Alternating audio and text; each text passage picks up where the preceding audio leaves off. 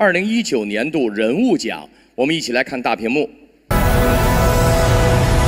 华人楷模二零一九年度人物，他慈悲为怀，广济天下，荣登福布斯亚洲慈善英雄榜。他就是慈善一社执行董事会主席卓顺发。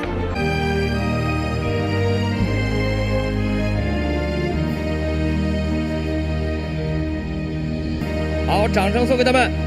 祝贺华人楷模二零一九年度人物奖的获得者。获得年度人物，你有什么感想？希望中国会强大，世界会和平。你自己呢？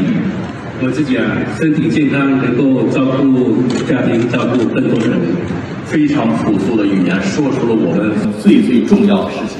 第一是身体健康，所有的华侨华人在海外打拼很不容易。祝所有的华侨华人朋友们身体健康，阖家幸福。